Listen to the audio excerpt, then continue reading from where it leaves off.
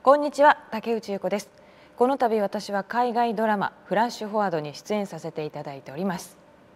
この作品は2分17秒の間に全世界が同時に意識を失いその間に全人類70億人が一斉に自分の未来を見てしまう。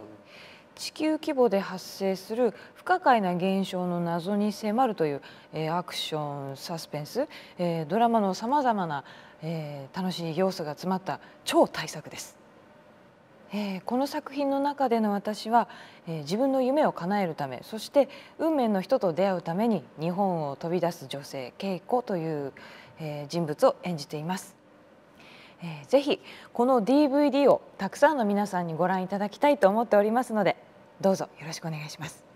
またこの DVD ボックスのボーナスコンテンツには、えー、大変光栄なことにですね私の撮影時の、えー、裏舞台がフューチャーされた「えー、ミート優子」という、えー、特典映像がなんと収録されております。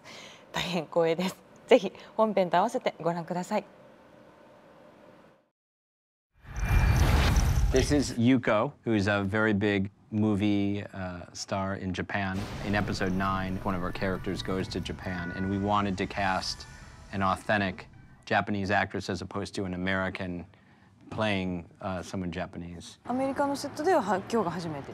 正直まだちょっとだけ実感がないんですけど。はい。Mark, very nice to meet you. きっかけは本当にロサンゼルスで撮影するその美少の中でジャパニーズアクトレスを探しているので書類出しをしてもいいかとかもしれないから出してくださいぜひぜひって資料を出してもらって。